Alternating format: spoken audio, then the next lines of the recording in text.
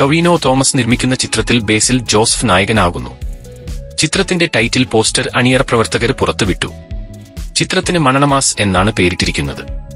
ബേസിൽ ഒരുക്കിയ ടൊവിനോ ചിത്രം മിന്നൽ മുരയുടെ അസോസിയേറ്റ് ഡയറക്ടർ ശിവപ്രസാദാണ് മരണമാസ് സംവിധാനം ചെയ്യുന്നത്. ശിവപ്രസാദ് സ്വതന്ത്ര സംവിധായകനാകുന്ന ചിത്രം കൂടിയാണ് മരണമാസ്.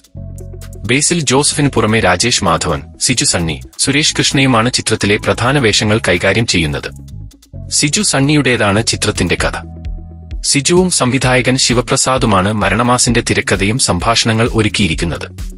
ടൊവിനോ തോമസ് പ്രൊഡക്ഷൻസിന്റെയും വേൾഡ് വൈഡ് ഫിലിംസിന്റെയും ബാനറിൽ ടൊവിനോ തോമസും ടിങ്സ്റ്റൺ തോമസും തൻസീർ സലാമും ചേർന്നാണ് മരണമാസ് നിർമ്മിക്കുന്നത്. ഇന്ത്യാസ് കദീറാണ് ചിത്രത്തിന്റെ സഹനിർമ്മാതാവ്. Gokulnath G executive producer.